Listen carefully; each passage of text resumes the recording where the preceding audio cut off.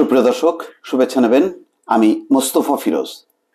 বাংলাদেশের অন্যতম নিরাপত্তা বিশ্লেষক, মেজর জেনারেল অবসরপ্রাপ্ত আনম মনিরুজ্জামান। তিনি Bangladesh institute of peace and security স্টাডিজের president, আন্তর্জাতিক পরিপ্রেক্ষিত এবং নিরাপত্তা বিশ্লেষক। দর্শক ডেলি স্টার তার সঙ্গে একটি সাক্ষাৎকার নিয়েছে। সেখানে সেন্ট মার্টিন দ্বীপ যুক্তরাষ্ট্রের নেয়া, লিজ নেয়া, অথবা সেখানে বেস করা। এবং বাইডেনের সঙ্গে নরেন্দ্র মোদী যে আলোচনা করছে, সেই আলোচনায় বাংলাদেশের ইস্যু স্থান পাবে কিনা, তা নিয়ে একটি বিস্তারিত সাক্ষাৎকার এসেছে। সেখানে পরিষ্কারভাবে বলা হয়েছে যে মোদি এবং বাইডেনের আলোচনায় বাংলাদেশ প্রসঙ্গ আসার সম্ভাবনা একেবারেই ক্ষীণ। একেবারেই ক্ষীণ, পরিষ্কারভাবে তিনি বলেছেন।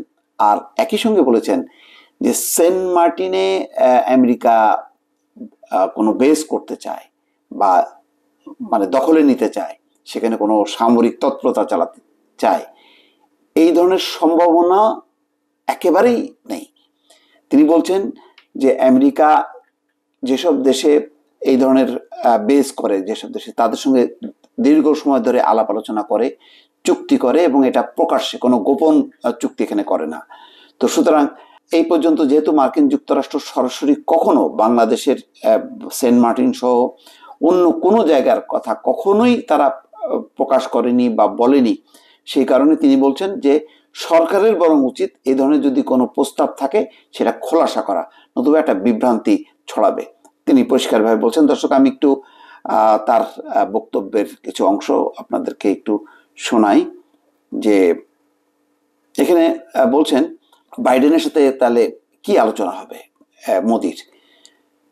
সেখানে বলছে যে প্রথমেই আছে প্রতিরক্ষা সহযোগিতা। এটা ভারতের জন্য সবচেয়ে গুরুত্বপূর্ণ। দ্বিতীয় যে বিষয়, আলাপ, আলোচনা হবে, সেটি প্রযুক্তিগত সহযোগিতা বা টেকনোলজি ট্রান্সফারের ব্যাপারে। তৃতীয় বিষয় হচ্ছে বিভিন্ন ধরনের গোয়েন্দা তথ্য আদান প্রদান। ভারত যে তথ্য পাওয়ার চেষ্টা করছে, সেগুলোর ব্যাপারে একটা সঠিক ধারণা পেতে চাইবে যে কি ধরনের তথ্য তারা যুক্তরাষ্ট্রের কাছ থেকে পেতে পারে?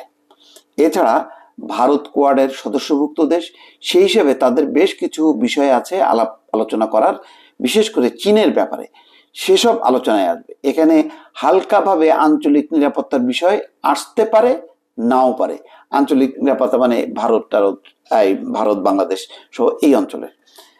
তো ভারতের জন্য আঞ্চলিক নিরাপত্তা খুবই গুরুত্বপূর্ণ একটি ইস্যু সেই জায়গায় তো বাংলাদেশ গুরুত্বপূর্ণ অবস্থানে আছে। এর উত্তরে মনিরুজ্জামান বলছেন, ভারতের জন্য আঞ্চলিক নিরাপত্তা গুরুত্বপূর্ণ, কিন্তু বাংলাদেশ এখানে গুরুত্বপূর্ণ না।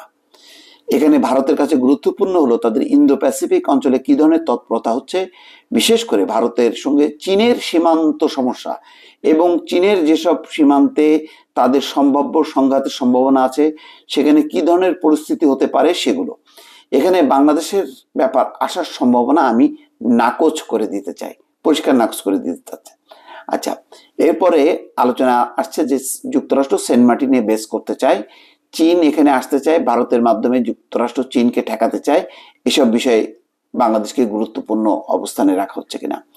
মনিরুজ্জামান বলছেন, বাংলাদেশ কৌশলগতভাবে গুরুত্বপূর্ণ অঞ্চল বা দেশ হিসেবে পরিগণিত, সে ব্যাপারে কোনো সন্দেহ নেই।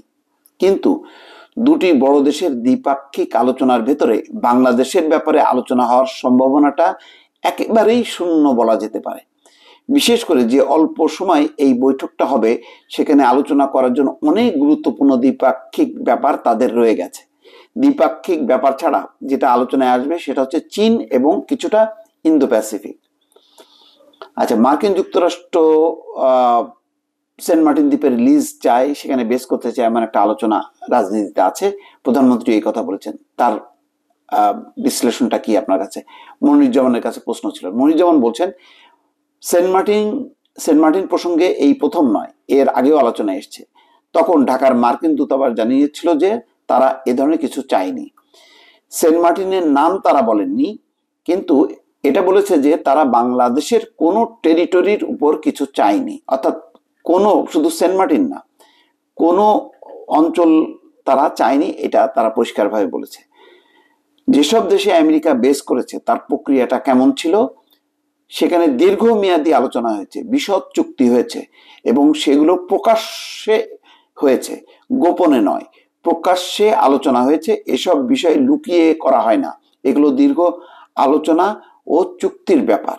সরকার ও যুক্তরাষ্ট্রের বক্তব্য থেকে আমরা প্রকৃত অবস্থা বুঝতে পারছি না। সরকারের কাছে যুক্তরাষ্ট্র কি চেয়েছে, কীভাবে চেয়েছে, সরকারের উচিত তা প্রকাশ করা। কারণ এসব তো যুক্তরাষ্ট্র গোপন করে না। আচ্ছা এরপর বিষয় ছিল যে মানে যুক্তরাষ্ট্রের ক্রমাগত চাপে বাংলাদেশ ক্রমশ চীনের দিকে ঝুঁকে যাবে। ভারতের পাশে থাকা বাংলাদেশ চীনের দিকে ঝুঁকে যাওয়ার দিকটা বাংলাদেশে, বাংলাদেশ গুরুত্বপূর্ণ হয়ে উঠতে পারে কিনা? মনিজন বলছেন যে, না, তা হবে না। গুরুত্বপূর্ণ যে বিষয়গুলো তালিকা আছে, সেখানে এটা আসবে না। এটা গুরুত্বপূর্ণ নিশ্চয়ই, কিন্তু দ্বিপাক্ষিক বৈঠকের ক্ষেত্রে অত গুরুত্বপূর্ণ না যে, দুই দেশের নেতার মধ্যে আলাপ আলোচনার এই সীমিত সময়ের মধ্যেও একটা জায়গা পাবে। এটার প্রাধান্য পাওয়া বা আলোচনায় আসার সুযোগ নেই বললেই চলে। আমাদের আভ্যন্তরীণ রাজনীতিতে যে ধারা বর্তমানে চলছে, সেই ধারাতে অনেকে আশা করছে এই ধরনের আলাপ হতে পারে। কিন্তু আসলে এই ধরনের কোনো আলাপ আলোচনার কোনো সুযোগ নেই। দর্শক, তাহলে কয়েকটা বিষয় পরিষ্কার। একটা হলো যে মোদি এবং বাইডেনের আলোচনায় বাংলাদেশ ইস্যু প্রাধান্য পাবে না। এই যে বলা হচ্ছে যে ভিসা নীতির ব্যাপারে ভারত কিছু বাইডেনকে বোঝাবে যে এই ধরনের চাপ দিলে চীনের দিকে যাবে এই ধরনের আলোচনার এখানে সুযোগ নেই। অনেক বড় ইস্যুতে তারা আলোচনা করবেন। দুই নম্বর হলো, সেন্ট মার্টিনে আমেরিকা চায়, কি জন্য চায়? সামরিক কোনো বেস করার জন্য। এই ধরনের কোনো প্রস্তাব মার্কিন যুক্তরাষ্ট্র কি দিয়েছে? কোথায় দিয়েছে? কার কাছে দিয়েছে?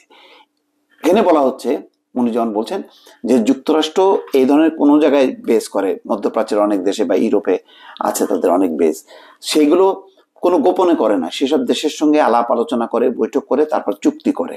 এগুলি কোনো গোপন কোনো বিষয় না। তো সুতরাং মার্কিন যুক্তরাষ্ট্র যেহেতু ইতিমধ্যেই রাশেদ খান মেননের বক্তব্যের পর বলেছে যে না, এই ধরনের কোনো মানে সেন্ট মার্টিন দ্বীপ চাওয়া বা কোনো টেরিটরি তারা কখনো চায়নি তো সুতরাং আবারও এই প্রশ্নটা এসছে যে তাহলে সরকারের এখন উচিত যে মার্কিন যুক্তরাষ্ট্র কবে, কখন, কীভাবে সেন্ট মার্টিনটা চাইলো সেই তথ্য প্রকাশ করা। তাহলেই অন্তত সেন্ট মার্টিন নিয়ে যে একটা মানে এক ধরনের বিষয় চাউর করা হলো একটা হয়তো রাজনৈতিক সুবিধা নেওয়ার জন্য, সেটি হয়তো বন্ধ হবে। দর্শক, ভালো থাকবেন। আল্লাহ হাফেজ।